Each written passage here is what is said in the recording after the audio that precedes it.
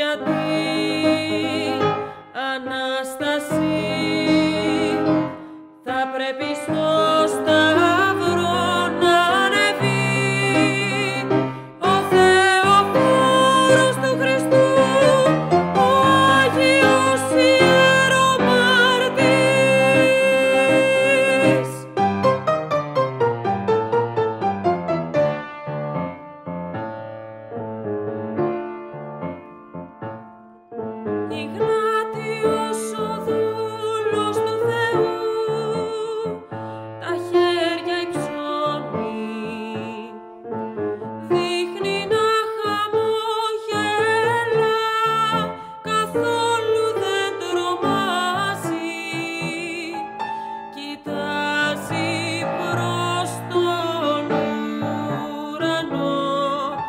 come